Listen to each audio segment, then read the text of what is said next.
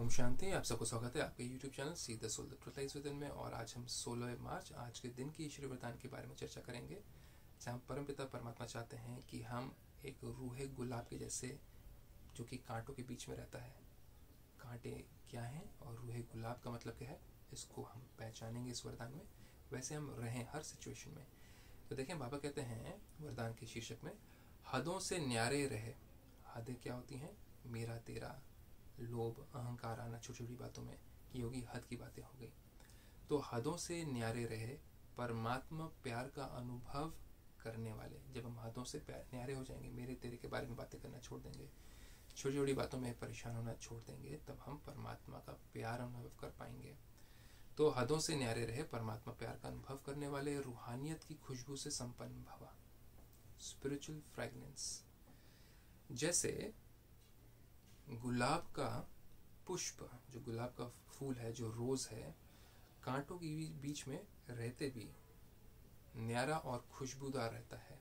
जो गुलाब का फूल है, उसमें उसके अगर आप देखेंगे इसकी जो स्टेम है, उसमें आपको कांटे दिखाई देते हैं। मतलब है तो गुलाब स्टेम में कांटे हैं, लेकिन फिर भी कैसे रहता है? खुशबूदार रहता है। तो आज हम ये कांटा कैसे कह रहे हैं? कांटे मतलब कि जो आत्माएँ, क्रोध का कांटा, अहंकार का कांटा, ईर्ष्या, घृणा का कांटा, काम का कांटा लगाते हैं वो आत्माओं से हम कह रहे हैं, हम उनसे परे रह करके, हम उन जैसे नहीं, कांटे नहीं, हम किसी को क्रोध, अहंकार, ईर्ष्या, घृणा नहीं, हम पवित्र ज्ञान के द्वारा, हम अच्छे सोच के द्वारा, अच्छे कर्मों के द्वारा हम और को सुखी रख रहे हैं, हमारे से खुशबू मिल रही है औरों को, ना कि हमसे बदबू। तो कांटों के कारण बिगड़ नहीं जाते। कौन? जो गुलाब का पुष्प पुष्प कांटों के बीच में रहते, भी न्यारे और खुशबूदार रहते हैं। कांटों के कारण बिगड़ नहीं जाते। ये नहीं कि किसी ने आपको क्रोध किया तो आपने भी क्रोध कर दिया। किसी ने आपसे बदला लिया तो आपने भी बदला ले दिया। तो आप गुलाब तो नहीं, आप फिर से कांटे बन गए। जैसे रूहे गुलाब, जो सर्व हदों से व देह से न्यारे हैं। रूहे गुलाब कौन हो गए? जो हदों से और देह से न्यारे हैं कि मेरा तेरा, मेरी चीज़, मेरे कपड़े, मेरा गहना, मेरे पैसे, मेरा घर, ये हो गया मेरा मेरा। इन चीज़ों से न्यारे हैं। उनको इन चीज़ों से असर नहीं पड़ता क्योंकि वो परमात्मा के प्रेम के पीछे हैं। किसी भी प्रभाव में नहीं आते, वे रूहानियत की खुशबू से संपन्न रहते हैं। इस कलयुग में तो कांटे लगाने वाले बहुत लोग हैं सिचुएशंस बहुत सारी आती हैं तो उनको किसी भी प्रभाव में नहीं आते, उनको कोई असर नहीं पड़ता, वो कांटों जैसे नहीं होते हैं।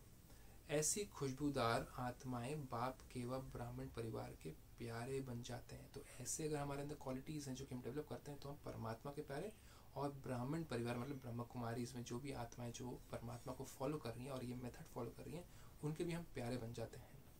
परमात्मा प्यार अखूट है, कभी कम नहीं हो सकता, कभी घट नहीं सकता, कभी ख़त्म नहीं हो सकता।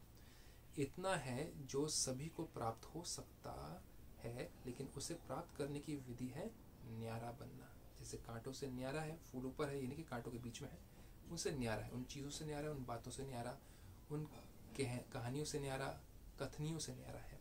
तो परमात्मा चाहते हैं कि हम भी वैसे बने और बनना कैसे, इसके लिए आपको साप्ताहिक कोर्स करना बहुत ज़रूरी है, जो कि आप सेवन डेज़ ब्रह्म कुमारी का कोर्स करके इस ज्ञान को समझ सकते हैं।